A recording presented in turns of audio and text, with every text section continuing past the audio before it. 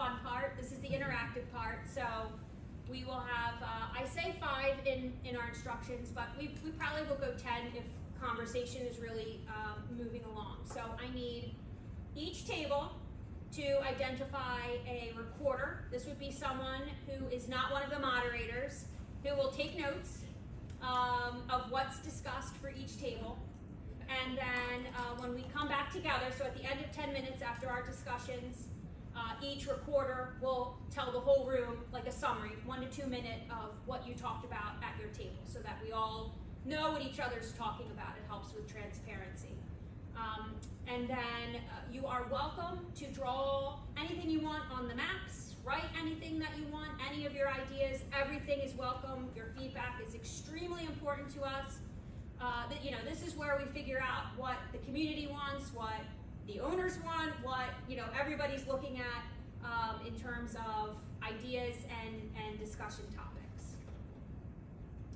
So for active recreation, I tried to think about like, well, you know, for some of them it may not be clear, so to define active recreation, it's an activity that you're engaged in for the purpose of relaxation or enjoyment, with the primary focus being physical activity. So if you think linearly, this is, you know, jogging trails, bikeways, it might be uh, fields, playgrounds, game courts, and generally it includes all outdoor recreation activities. So anything from football and soccer to tennis or baseball.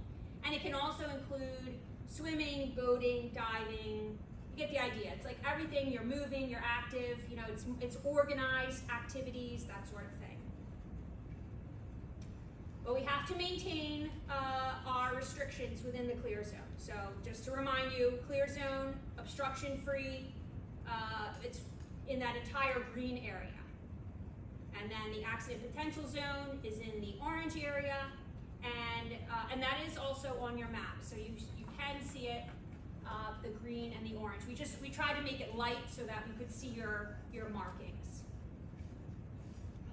So some things to consider, uh, access. You know, if we wanna put some playgrounds there or something like that, you know, how do we access it but still maintain the security of the base?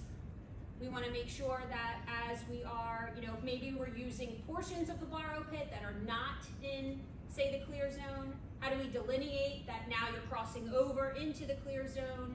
How do we maintain that compliance? And, uh, you know, again, maintaining the safety and security of the Air Force Base. So, some things that you have at your table to help you you have the noise contours. This is a very handy chart, which I did not try to put on a PowerPoint because you would never see it. But if you look on here, it gives a ton of uses and whether it's yes, no, and then stipulations. You know, it's sort of like yes, but look at number seven, it'll tell you something about it. Uh, you also have a little bit more information on um, the clear zones the bird population that we want to try and stay away from attracting. And then your moderators have some questions that'll help uh, solicit that feedback. So unless there's questions, I will start the timer. And uh, I would say let's go for 10 minutes. If it starts to like, you know, you're done, you don't you don't want to speak anymore, just kind of look up and, and I'll know that you're that you're finished.